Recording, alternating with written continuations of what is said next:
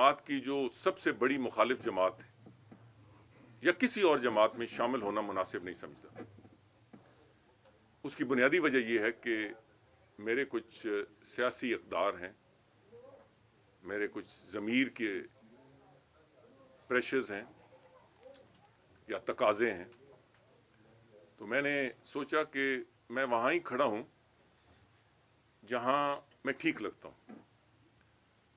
सो पिछले इलेक्शन में अल्लाह ताला के करम से एक लाख तैंतीस हज़ार से ज़्यादा मुझे दो हलकों में कौमी असम्बली में वोट पड़े। सूबाई असम्बली में चौवन हज़ार इसके अलावा हैं। मैं पहले भी कह चुका हूँ और फिर कहना चाहता हूँ कि लोगों ने इससे ज़्यादा वोट डाले, उसे काउंटिंग में नहीं लाया गया। तो जब इतनी बड़ी तादाद में लोग आपके साथ हों और मैं अब बहुत सारा उस हल्के में मुतरक हूँ यहाँ भी मुतरक होने लगा हूँ। तो मेरा आवाम के साथ रिश्ता वो कायम दायम है और इंशाल्लाह उसमें तेज़ी आएगी। सियासी तौर पर किस जमात में शामिल होना है ये मुनासिब वक्त पे फैसला होगा। क्या हाल है लाहौर में एक निजी टीवी चैनल से आपने गुफ्तगू में कहा था कि आ, मुझे ये चीज़ें पता है कि क्या व्हाट इज़ द सीक्रेट के जो नवाज़ शरीफ साहब की रिलीज़ क्यों हैं? और क्या एक ये बताएँगे कि वो क्या हैं सीक्रेट्स की जो उनकी रिलीज़ बनी और दूसरा ये है कि क्या आप समझते हैं कि जो इनकी रिलीज़ हुई है फॉर फ्यू वीक्स ये किसी एनआरओ या किसी डील का नतीजा है या क्या इसको आप किस तरह देखते हैं? नहीं, मैं इस तफसील में उस इंटरव्यू में भी नहीं पढ़ा। मैंने सिर्फ़ इतना कहा था कि मुझे बहुत सारी तफसील पता तफसील पता है। और मुझे पता है। मगर उसकी तशीर करनी फ़िलहाल मुनासिब नहीं है। इतना कहना मैं ज़रूरी समझता हूँ कि इस वक्त सियासत में एक अफरा तफरी माजराई, एक खिचड़ी का सा समा है। मुल्क को इस वक्त सियासी इस्तेकाम की ज़रूरत है। और ये ज़िम्मेदारी सबसे बढ़कर हुकूमत वक्त पे होती है और उसके बाद अपोजिशन या तमाम सियासी जमातों पर बदकिस्मती से जो इस वक्त मुल्क के मसाइल हैं, उस पर तो तवज्जो है ही नहीं। पाकिस्तान इस वक्त एक बहुत ही गंभीर डेट क्राइसिस में जा चुका है। या डेट ट्रैप मैं कहूँ, एक उसका डेट ट्रैप का उर्दू में पता नहीं कर्जों का कर्जों का एक बहुत बड़ा क्राइसिस एक हुकूमत जाती है, वो कर्जे लेती है, अपना गुजारा करती है। अगली आती है, जो बहुत कुछ वादा करके आती है, वो भी कर्जों पे गुजारा करती है। और मौजूदा हुकूमत ने तो रिकॉर्ड तोड़ दी है। इसका बोझ सारा पाकिस्तान के अवाम, पाकिस्तान की इकोनॉमी पे नहीं, पूरे पाकिस्तान पे पड़ेगा। उसकी कोई सोल्यूशन नहीं है, उसका कोई हल नहीं है। हर कोई अपने अपने मफाद के लिए तगोदो कर रहा है। सो इसलिए मेरे लिए मुनासिब नहीं होगा कि मैं इस तफसील में जाऊँ। शायद किसी मुनासिब वक्त पर मैं उस पर इजार ख्याल ये बताइएगा कि एक तो आप जो मौजूदा हुकूमत के जो आपने कहा कर्जे लेके इस हुकूमत का टाइम फ्रेम कितना देखते हैं? क्या ये अपनी मुदत पूरी करेगी? नंबर टू मेरा सवाल आपसे ये होगा कि इनका इल्ज़ाम है कि खजाने खाली थे हम पिछली हुकूमतों ने लूटा। आप उस हुकूमत का हिस्सा रहे। क्या मियाँ नवाज़ शरीफ के खिलाफ जो कुछ हो रहा है वो करप्ट है या नहीं? नहीं, सबसे पहले तो जो कुछ ये हुकूमत कहती है, वो आवाम के सामने है, आप मीडिया के सामने हैं। अगले दिन कुछ और, दूसरे दिन कुछ और। सो मैं उनकी बातों पे क्यों तबसरा करूँ, जब उनकी, खुद उनकी बातों में कंसिस्टेंसी नहीं है? मियाँ नवाज़ शरीफ के हवाले से तो मेरा कोई तबसरा करना इसलिए नहीं बनता कि उनके केसेस कोर्ट में है। साहब एन आर ओ से इमरान खान को क्या खतरा है और आप एन आर ओ देख रहे हैं कि नहीं देख रहे मेरा दूसरा सवाल यह है कि इन्होंने बेनजीर इनकम स्पोर्ट्स का नाम तब्दील करके वही चैप्टर फिर से शुरू कर दिया इस पर क्या कहना है देखिए मैं एक तो फिर सदाकत साहब कहूँगा कि ये छोटी छोटी चीज़ें हैं शायद इनफरादी तौर पर तो अहम हों कुछ अफराद के हवाले से या पार्टीज़ के हवाले से मगर इस वक्त पाकिस्तान के मसाइल कुछ और हैं और उस मसा, उन मसाइल के बारे में जब तक कौमी असम्बली में सेनेट में डिबेट नहीं होगी मीडिया में डिबेट नहीं होगी कौम की तवज्जो उस तरफ़ नहीं कराई जाएगी तो उनका हल नहीं निकलेगा। मौजूदा जो डेट ट्रैप है कर्जों का जो गिरदाब है जिसमें हम फंसे हुए हैं अगर एक पॉलिसी बन भी जाए तो उसमें निकलने में निकलने के लिए हमें कई साल लगेंगे। इस वक्त पाकिस्तान की इकोनॉमी टोटल कर्जों पे चल रही है। मुझे आप ये बताएँ कि किसी घर, किसी खानदान का सारा दारोमदार कर्जों पे हो, उसका मुस्तकबिल क्या है? तो इस पे सोचने की ज़रूरत है। अब बेनजीर इनकम सपोर्ट पे बेनजीर का नाम है या नहीं, एनआरओ कौन ले रहा है, अपोजिशन कहती है हुकूमत ले रही है, हुकूमत कहती है, हम किसी को नहीं देंगे। ये बहस अपनी जगह दुरुस्त होगी, मगर ये लवाजमात उस मुल्क के लिए और उस माशरे के लिए सही हैं, जहाँ ऐसी चीज़ों के लिए टाइम या डिस्कशन के लिए वक्त है। हम इन झमेलों में पड़े हैं और जो पाकिस्तान के वसी तर इशूज हैं, हिंदुस्तान के साथ मसला है। मुझे मुझे आप यकीन करें, जब मैं मुस्लिम लीग नून हुकूमत में भी था तो मेरा एक मुख्तलिफ़ एक मौकफ था। मेरा मियाँ नवाज़ शरीफ से कतई मुख्तलिफ़ मौकफ था और इसका इजहार मैंने कैबिनेट मीटिंग्स में, इनफरादी मीटिंग्स में, पार्टी की मीटिंग्स में किया। पीटीआई का मौकफ भी तकरीबन हिंदुस्तान के हवाले से वो था। आज मुझे पीटीआई का मौकफ हिंदुस्तान के हवाले से नज़र ही नहीं आता। आज तो मुझे इमरान खान और मियाँ नवाज़ शरीफ का इंडियन की जो इंडिया पॉलिसी है, उसमें कोई फ़र्क महसूस नहीं होता। तो कल क्यों आप तनकीद कर रहे थे? इस पर डिबेट होनी चाहिए। क्या क्या मोदी हुकूमत से कोई खैर की तवक्को है? मैं मैं समझता हूँ नहीं है। जो समझते हैं खैर की तवक्को है, वो पॉलिसी सामने लाएँ। मीडिया पे डिबेट हो पार्लियामेंट में डिबेट हो। कोई नहीं चाहता कि जंग जंग हो। मेरे समेत कोई नहीं चाहता जंग हो।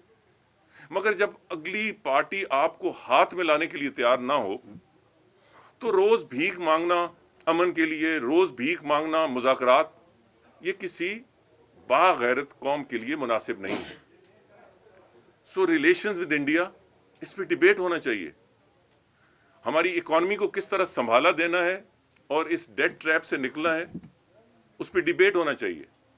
अमेरिका और बड़ी ताकतों के साथ क्या ताल्लुकात हैं, उस पर डिबेट होनी चाहिए। अफ़गानिस्तान बड़े बड़े कंटेंशियस इश्यूज़ आ रहे हैं सामने। उस पर डिबेट होनी चाहिए। और मैंने पीछे भी किसी जगह प्रेस से बात करते हुए कहा था कि खुदा के लिए इमरान खान साहब को कोई समझाए कि हुकूमतें ट्वीट के ज़रिए नहीं चलाई जाती। अब अगर इनका मौकफ था कि सूबाई असम्बली के मेम्बरान की तनख्वाहें नहीं बढ़नी चाहिए। तो ये वक्त पे अपनी पार्टी को कह देते, स्पीकर को कह देते कि ये रेजोल्यूशन असेंबली में ना लाए। ये तो कई दिनों से मामला चल रहा था ना। वो रेजोल्यूशन भी आ गई मुतफिका तौर पे मंजूर भी हो गई, और फिर इमरान खान साहब की ट्वीट आई कि ये मुनासिब नहीं है। तो ये मुनासिब वक्त पे फैसला करना ज़रूरी है। हिंदुस्तान के हवाले से क्या पॉलिसी है? अब अगर मोदी साहब को एक एक रवायती, एक मुल्क, दूसरे मुल्क के नेशनल डे पे या कौमी दिनों पे मुबारकबाद देते हैं, अब इमरान खान को वो इतनी उसको अहमियत नहीं देनी चाहिए थी कि अपनी ट्वीट पे उसका ज़िक्र कर दे। इसका तो जैसे ये ये ये एक तसर है कि हम बिछे जा रहे हैं। और मोदी का एक एक कोई, एक पैगाम आ गया, गोया हम बख्शे गए। ये अच्छे असरात इससे नहीं पड़ते मुझे ये तवक्को थी और मैंने इसीलिए इमरान खान के एक बयान जो उन्होंने प्रेसिडेंट ट्रंप के ट्वीट के जवाब में कहे थे, मैंने तारीफ़ की आज से कोई तकरीबन छह महीने पहले। मगर हिंदुस्तान की पॉलिसी, हिंदुस्तान के हवाले से जो पीटीआई की और इमरान खान की पॉलिसी है, मेरा ख्याल है कि उनको रिकंसिडर करना चाहिए। फौरी एक ट्वीट नहीं करने चाहिए चाहिए। सोच समझ के फैसले करने चाहिए। और पार्लियामेंट को मैवर बनाए। ठीक है, अगर आपकी अक्सरियत नहीं भी है तो डिबेट तो कराएँ। अपोजिशन को भी बात करने दें। हुकूमत भी बात करे। अवाम को यह फैसला करने दें। वहाँ तो डिबेट ही नहीं होती। वहाँ तो सिर्फ़ गालम गलो चलता है। चलें, अगर अपोजिशन दो मिनट के लिए सख्त जबान इस्तेमाल करती है तो इसका यह मतलब नहीं है कि हुकूमत भी सख्त जबान इस्तेमाल करने करने लग पड़े।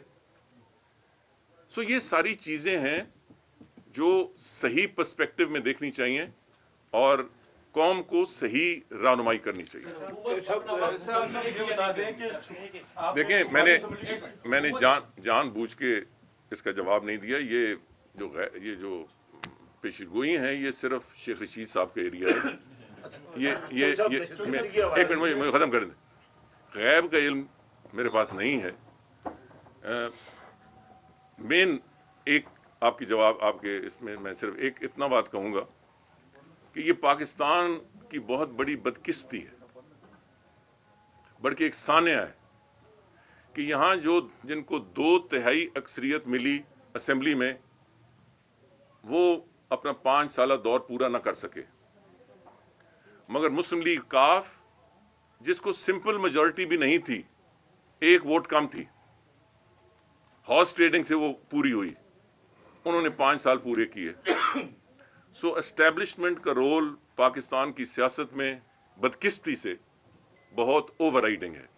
और इस वक्त तमाम इदारे पीटीआई के साथ हैं। ये मामला आगे कब तक चलेगा, ये ये पाँच साल तक ये रिलेशनशिप रहेगी। ये सवाल ये सवाल है इसके बारे में मेरा एक जाती नज़रिया है मगर उसकी मैं तशहर मुनासिब नहीं समझता। अच्छा चौधरी साहब दहशतगर्दी के हवाले से दहशतगर्दी के हवाले से बात है कि इस वक्त मुल्क में हुकूमत भी कह रही अब answer दहशतगर्द को जो। है ना वो बर्दाश्त नहीं करेंगे न किसी तंजीम को बर्दाश्त करेंगे। लेकिन एक खास मकतब फ़िक्र को टारगेट किया जा रहा है। तो आपने भी इस पर काफ़ी काम किया तो इस हवाले से आप थोड़ा सा नहीं मैं इसे बहुत बहुत से बहुत कुछ बात कर सकता हूँ शाह साहब। मैं हमेशा कहता हूँ कि अच्छे काम करने का भी तरीका होता है। बदकिस्ती से मौजूदा हुकूमत ने हर काम को सीधे तरफ़ पकड़ने के बजाय उल्टे हाथ से पकड़ते हैं। और इस बारे में मैं बहुत कुछ कह सकता हूँ टाइमिंग के हवाले से खास तौर पे। जब आप कह रहे हैं कि ये जो वाकया जम्मू और कश्मीर में हुआ है इसमें किसी पाकिस्तानी तंजीम को कोई तल्लक नहीं है। तो फिर आपने एन उसी टाइम पे पकड़ पकड़ क्यों शुरू कर दी? ये ये अपने आप, आप अपनी बात की नफी कर रहे हैं जो जो गलत है। मैं इस बात से बिल्कुल सौ फ़ीसद मुतफिक हूँ कि जो ये वाक्य हुआ है इसे किसी पाकिस्तानी तंजीम का तल्लक नहीं। दूसरा जो काम आपने करना है उसके लिए एक तरीकाकार चाहिए। वो होमवर्क हुआ ही नहीं है। और इसलिए ये सवालात आए हैं शाह साहब, जिसका इजहार आप कर रहे हैं। मगर इमरान खान ने तो कौम को वैसे ही एक बत्ती के पीछे लगा दिया, ट्रक की बत्ती के पीछे लगाया हुआ है। उसमें कोई एक बड़े सब्र और तहमल से एक स्ट्रेटजी बनाकर मसाइल को हल करने का तो उनके पास कोई खाका ही नहीं है। खुदा करे, क्योंकि ये बहुत, ये ये बहुत एक क्रूशल इशू है। जहाँ मैं तरीकाकार हुकूमत से इतफाक नहीं करता, वहाँ मैं समझता हूँ कि ऑपोजिशन को भी ज़िम्मेदारी का मुजाहरा करना चाहिए। हमें कोई ऐसी बात नहीं करनी चाहिए जिससे शायद हमें सियासी फ़ायदा वक्ती तौर पर तो मिल जाए, मगर उससे मुल्क की जगहसाई हो। सो बिलावल भुट्टो जरदारी के ये बयान मुझे बहुत अजीब लगा कि वो बार बार ज़िक्र बड़े नेगेटिवली करते हैं मनफी अंदाज से करते हैं बल्कि तीन वजरा पे भी इल्ज़ाम लगाते हैं। मेरा ख्याल है कि मुल्क रहेगा तो इंशाल्लाह ये सियासत भी रहेगी। अपोजिशन को भी ज़िम्मेदारी का एहसास करना चाहिए और ऐसे बयान नहीं देने चाहिए जिससे पाकिस्तान का केस बैन अवी तौर पर कमज़ोर हो। अच्छा सर ये बताएँ सर मेरा आपसे ये सवाल है कि जैसे आपने हमेशा से पाकिस्तान मुस्लिम नून और खास तौर पर मियाँ नवाज़ शरीफ को हमेशा कामयाब सियासी मशवरे दिए हैं। अभी क्योंकि उनकी राय हुई है और इस